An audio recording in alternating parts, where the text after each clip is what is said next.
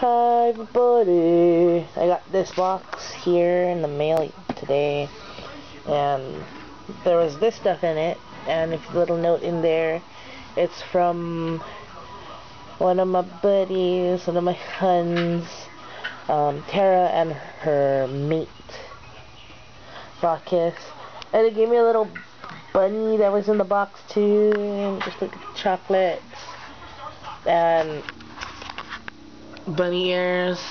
I just want to show that I got it and thank you so much. I love you guys. I miss you guys too. And I will see you guys on the interwebs. Hope everyone's having a nice day and I'll catch y'all later. Bye.